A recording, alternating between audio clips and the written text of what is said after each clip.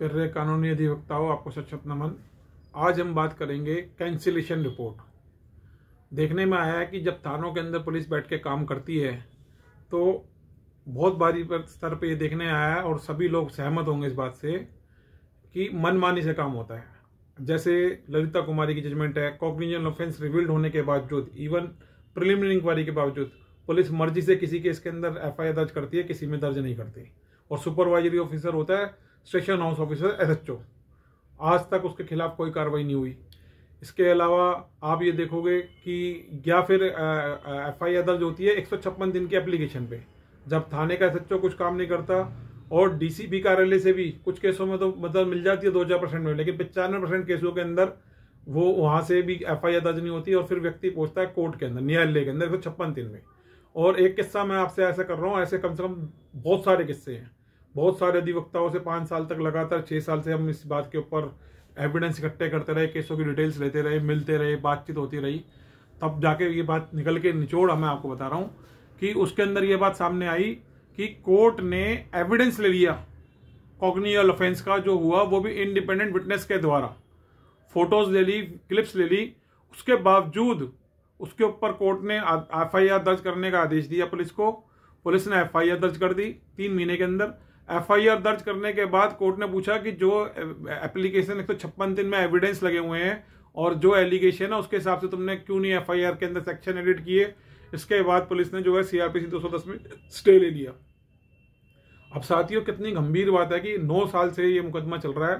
Police की इतनी ज़्यादा नेग्लिजेंस पुलिस ये प्रयास कर रही है कोर्ट के अंदर सामने की इन्वेस्टिगेशन में नेग्लिजेंस हुई और कोर्ट बार बार ये कह रही है कि बजाय प्रोसिक्यूशन से क्लैरिफिकेशन लेने के लिए। प्रोसिक्यूशन का कोई सबमिशन रिकॉर्ड पे नहीं आ रहा। नौ साल के अंदर प्रोसिक्यूशन कुछ नहीं बता रही कि क्या क्या जो जिसको कोर्ट को असेस करना चाहिए ट्रुथ के ऊपर फैक्ट्स के ऊपर। कुछ नहीं प्रोसिक्यूशन की कोई बात बता रही, ना कोर्ट रिकॉर्ड पे ले रही। सिर्फ़ उनकी प्रेजेंट मार्क होती है, उनकी सबमिशन रिकॉर्ड पे नहीं होती। ऐसे ही पुलिस की तरफ़ से पुलिस वाले पेश हो रहे हैं और पुलिस वाले आईओ का नाम ऑर्डर शीट पे नहीं लिखा जाता और फिर पुलिस किसी का बेनिफिट उठा रही है, फिर एप्लीकेंट ने आरटीआई लगा के यहाँ तक निकाल के न्यायालय को दे दिया कि यही कोर्ट की हियरिंग में अपियर हुआ था। इसकी अराइवल डिपार्चर की डीडी एंट्री थाने की है। कोर्ट में खड़ा होकर ये बंदा झूठ बोल रहा है, इसके खिलाफ झूठ बोलने का ही केस दर्ज कर दो। तब भी कोर्ट ने कोई कोरेसिव एक्शन नहीं लिया। इसी की वजह से जांचकर्ताओं के हौसले बुलंदी पे मनमानी कर रहे हैं और बे मतलब कानूनी अधिवक्ताओं का शोषण हो रहा है और साथ में पाँच करोड़ पीड़ितों का शोषण हो रहा है।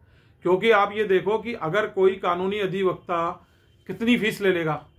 सामने वाला जो विक्टिम होता है, पीड़ित होता है, उसका दिमाग जो है, परेशान हो जाता है और वो कुछ कुछ ख्याल उसके मन में आने लगते हैं। न्याय के प्रति वकील साहब की प्रोसीडिंग के प्रति कि नौ साल से जो बात दिन में दिन है, रात को रात है, ये बात भी क्यों नहीं ऑर्डर शीट के दर्ज हो पा रही? तो इस तरीके से जो है, कहीं ना कहीं एक अधिवक्ता का भी हौसला टूट जाता है, खासतौर से नए अधिवक्ता होगा। जब उसको रिलीफ नहीं मिलता तो क्लाइंट उसका साथ छोड़ देते हैं। और जब क्लाइंट साथ छोड़ देते थे तो उसके लिए एक समस्या खड़ी हो जाती है।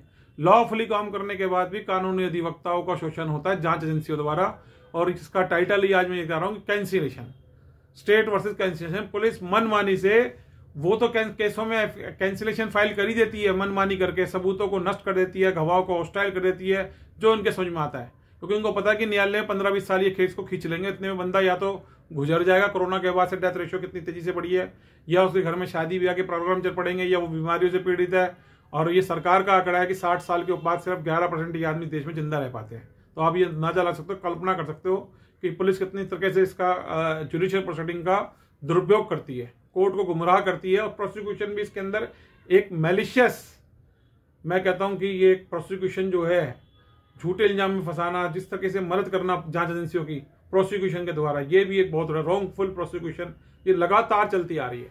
तो मैं चाहता हूँ कि सभी कानूनी अधिवक्ता जब बार बार प्रोटेक्शन एक्ट की बात उठती है, कभी पुलिस के खिलाफ उठती है, कभी न्यायालय के खिलाफ उठती है, गाजियाबाद वाली बात के बाद, और कई बार और कई तरह की बात मांग उठाते हैं, कानूनी अधिवक्ता समय समय पर हड़ताल हो रही हैं।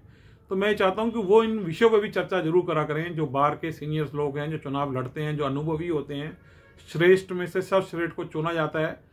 वो ज़रूर देखें और पुलिस के जो आई एस आई ऑफिसर हैं, उनसे भी हाथ जोड़ के प्रार्थना है कि वो अपने नीचे जो ये सबॉर्डिनेट काम करते हैं, मन माना जो सुप्रीम कोर्ट की मैं कहता हूँ कि जजमेंट्स को ही नहीं सुनते तो इन पर सख्त कुछ होना चाहिए, क्योंकि इस वजह से देश के अंदर जो सरकार का पैसा न्यायालय के ऊपर जा रहा है, कहीं ना कहीं उस पावर का भी थाने के अंदर बैठ के तो मिसयूज हो ही रहा है, लेकिन न्यायालय का भी समय बर्बाद हो रहा है प्रोसिक्यूशन का समय बर्बाद हो रहा है डीएलएस से टोटल टाइम बर्बाद हो रहा है, प्राइवेट का टोटल टाइम बर्बाद हो रहा है, पीड़ित का टाइम बर्बाद हो रहा है, सरकारी संस्थानों का, संसाधनों का दुरुपयोग हो रहा है।